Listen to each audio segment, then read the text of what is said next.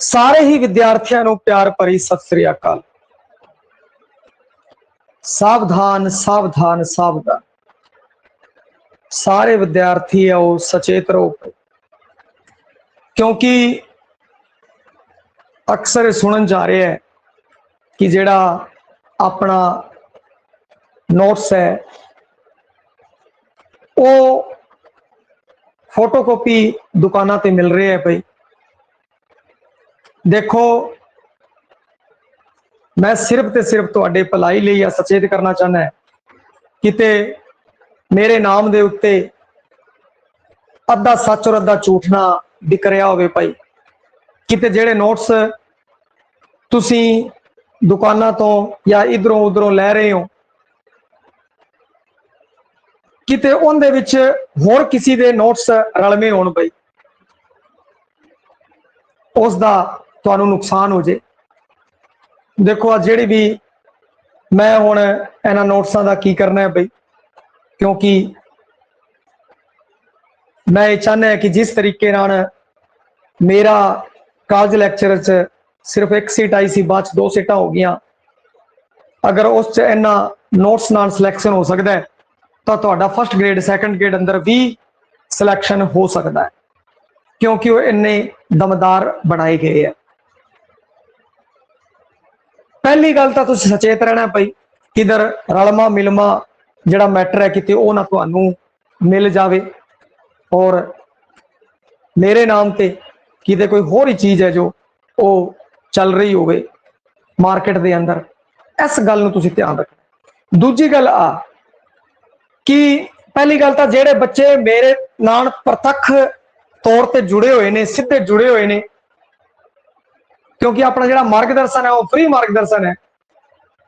ਜਿਹੜੇ ਮੇਰੇ ਨਾਲ ਸਿੱਧੇ ਜੁੜੇ ਹੋਏ ਆ, ਔਰ ਉਹ ਆਪਣੇ ਐਪ ਰਾਹੀਂ ਨੋਟਸ ਵਗੈਰਾ ਡਾਊਨਲੋਡ ਕਰਦੇ ਆ,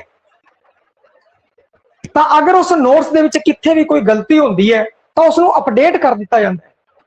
ਮੈਂ ਲਗਾਤਾਰ ਪਹਿਲਾਂ ਵੀ ਜਿਹੜੇ ਨੋਟਸ ਪਾਏ ਗਏ ਦੋ ਦੋ ਤਿੰਨ ਤਿੰਨ ਵਾਰ ਚੈੱਕ ਕੀਤੇ ਹੈ ਔਰ ਉਸ ਤੋਂ ਬਾਅਦ ਵੀ ਲਗਾਤਾਰ ਉਹਨਾਂ ਉੱਤੇ ਰਿਸਰਚ ਕੀਤਾ ਜਾਂਦਾ ਹੈ, ਅਧਿਐਨ ਕੀਤਾ ਜਾਂਦਾ ਹੈ ਕਿ ਭਈ ਕਿਤੇ ਕੋਈ ਗਲਤ ਚੀਜ਼ ਤਾਂ ਨਹੀਂ ਲਿਖਤੀ। ਉਹਨਾਂ ਨੂੰ ਸੋਧਿਆ ਜਾਂਦਾ ਹੈ, ਕਿਉਂਕਿ ਮੇਰਾ ਇਹ ਟੀਚਾ ਹੈ ਕਿ ਨੋਟਸ ਦੇ ਅੰਦਰ ਇੱਕ ਗਲਤੀ ਵੀ ਨਾ ਰਹੇ। ਕਿਉਂਕਿ ਨੋਟਸ ਆ ਪ੍ਰਿੰਟ ਕਰਨ ਵਾਸਤੇ ਦਿੰਦੇ ਆ ਤਾਂ ਰਾਜਸਥਾਨ ਅੰਦਰ ਇੱਕ ਇਹ ਵੱਡੀ ਸਮੱਸਿਆ ਹੈ ਬਈ, ਤੁਸੀਂ ਵੇਖਦੇ ਹੋਗੇ ਪੇਪਰ ਦੇ ਅੰਦਰ ਵੀ ਪ੍ਰਿੰਟਿੰਗ ਮਿਸਟੇਕ ਆ ਜਾਂਦੀ ਹੈ। ਭਾਵੇਂ ਉਹ ਕਿਸੇ ਵੀ ਪੱਤਰ ਦਾ ਪੇਪਰ ਹੋਵੇ। ਕਿਉਂਕਿ ਇਹ ਜੀ ਮਿਆਰੀ ਪ੍ਰਿੰਟਿੰਗ ਹੈ ਜਿਹੜੀ, ਉਹ ਰਾਜਸਥਾਨ ਅੰਦਰ ਪੰਜਾਬੀ ਲਈ ਉਪਲਬਧ ਨਹੀਂ ਹੈ। ਤਾਂ ਉਸ ਦੇ ਕਾਰਨ ਜਿਹੜੇ ਨੋਟਸ ਬਣਾਏ ਗਏ ਸੀਗੇ, ਜਦੋਂ ਮੈਂ ਤਿਆਰੀ ਕਰਦਾ ਸੀ ਕਾਲਜ ਲੈਕਚਰਰ ਦੀ ਨੋਟਸ ਬਣਾਏ ਗਏ ਸੀ ਤਾਂ ਬਿਲਕੁਲ ਸੋਧ ਕੇ ਬਣਾਏ ਗਏ ਸੀਗੇ, ਉਹਨਾਂ ਵਿੱਚ ਕੋਈ ਗਲਤੀ ਛੱਡੀ ਨਹੀਂ ਸੀ। ਪਰੰਤੂ ਫਿਰ ਦੁਬਾਰਾ ਜਦੋਂ ਉਹਨਾਂ ਨੂੰ ਪ੍ਰਿੰਟ ਲਈ ਦਿੱਤਾ ਗਿਆ ਪ੍ਰਿੰਟ ਦੇ ਵਿੱਚੋਂ ਜਦੋਂ ਉਹ ਵਾਪਸ ਆਏ, ਤਾਂ ਉਹਦੇ ਵਿੱਚ ਗਲਤੀਆਂ ਸੀ। ਫਿਰ ਉਹਨੂੰ ਫਿਰ ਦੁਬਾਰਾ ਤਿਬਾਰਾ ਤਿੰਨ ਤਿੰਨ, ਚਾਰ ਚਾਰ ਵਾਰ ਉਹਨੂੰ ਚੈੱਕ ਕੀਤਾ ਗਿਆ। ਪੜਾਉਂਦੇ ਬਾਅਦ ਜਦੋਂ ਪੜਾਉਂਦੇ ਸਮੇਂ ਕਲਾਸ ਲਗਾਉਂਦੇ ਸਮੇਂ, ਫਿਰ ਦੁਬਾਰਾ ਉਹਨਾਂ ਦੀ ਚੈਕਿੰਗ ਕੀਤੀ ਗਈ।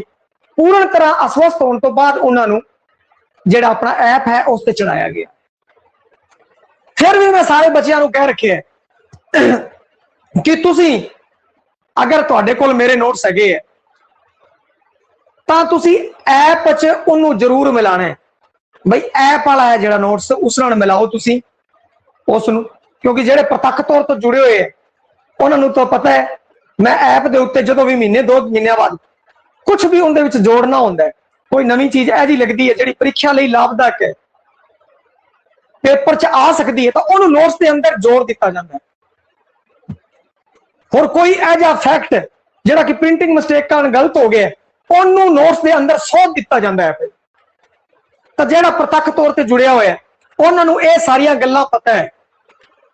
ਔਰ ਉਹ ਜਦੋਂ ਅਪਡੇਟ ਦੇਖਦੇ ਹੈ, ਮਹੀਨੇ ਬਾਅਦ, ਡੇਢ ਮਹੀਨੇ ਬਾਅਦ ਜਦੋਂ ਮੈਂ ਅਪਡੇਟ ਕਰਦਾ ਹਾਂ ਅਪਡੇਟ ਦੇਖਦੇ ਤਾਂ ਨਵੇਂ ਨੋਟਸਾਂ ਦੇ ਨਾਲ ਉਹਨੂੰ ਮਿਲਾ ਲੈਂਦੇ ਆ ਪਰੰਤੂ ਜਿਹੜਾ ਬੱਚਾ ਮੇਰੇ ਨਾਲ ਜੁੜਿਆ ਹੀ ਨਹੀਂ ਹੋਇਆ, ਉਹਨੇ ਕੀ ਕੀਤਾ? ਕਿਸੇ ਦੁਕਾਨ ਤੋਂ ਲੈ ਲੇ ਕਿਸੇ ਹੋਰ ਗਾਂ ਤੋਂ ਗਾਂ ਉਹ ਕਿਸੇ ਨੂੰ ਜਾਣਦਾ ਸੀਗਾ, ਉਸ ਤੋਂ ਲੈ ਲੇ ਪਰੰਤੂ ਬਾਅਦ ਚ ਉਹਨਾਂ ਨੋਟਸਾਂ ਨੂੰ ਮਿਲਾਇਆ ਹੀ ਨਹੀਂ। origignal ਕਾਪੀ ਨਾਲ ਐਪ ਦੇ ਅੰਦਰ ਜੋ ਉਹਨੂੰ ਅਪਡੇਟ ਕੀਤਾ ਗਿਆ ਹੈ, ਕੁਝ ਨਵੀਆਂ ਚੀਜ਼ਾਂ ਜੋੜੀਆਂ ਗਈਆਂ ਨੇ।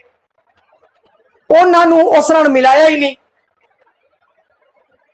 ਹੋਰ ਜੇ ਉਹਨੇ ਕਿਤੇ ਫੋਟੋਕਾਪੀ ਦੁਕਾਨ ਤੋਂ ਲਿੱਤਾ ਤਾਂ ਕੀ ਪਤਾ ਉਹ ਮੇਰੇ ਨੋਟਸਾਂ ਦੇ ਵਿੱਚ ਹੋਰ ਰਲਗੜ ਉਹਨਾਂ ਨੇ ਕਰਤੀ ਹੋਵੇ ਉਸ ਲਾਲਚ ਦੇ ਅੰਦਰ।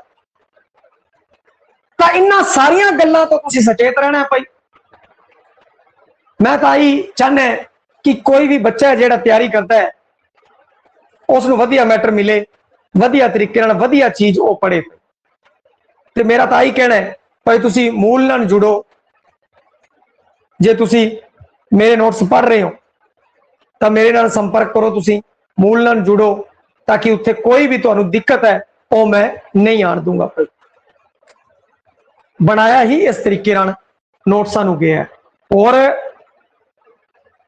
360 ਡਿਗਰੀ ਤੇ ਹਰ ਜਿਹੜਾ ਕਨਸੈਪਟ ਹੈ, ਉਹਨੂੰ ਛੱਡਿਆ ਨਹੀਂ ਗਿਆ।